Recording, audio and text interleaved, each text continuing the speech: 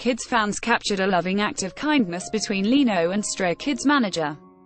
Their manager was seen carrying an injured Lee-Know from the Music Bank building, following a rehearsal for the show's June 29 episode.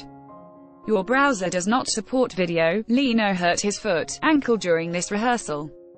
At this time, the severity of his injury is unknown, but it was serious enough to prevent him from participating in Stray Kids' Music Bank performance. Despite his apparent injury, Lee-Know was all smiles. Ad choice as advertising inRead invented by Teads it seems as though the singer wanted to both greet and reassure he fans. In this video, Minho can be seen wearing a black covering over his injured foot. After seeing this, fans began to worry about Lee-Know's health. Luckily, he is in good hands. Fans have commended Stray Kids manager for taking such good care of Lee-Know during his time of need. If managers won awards, Stray Kids manager would win first place.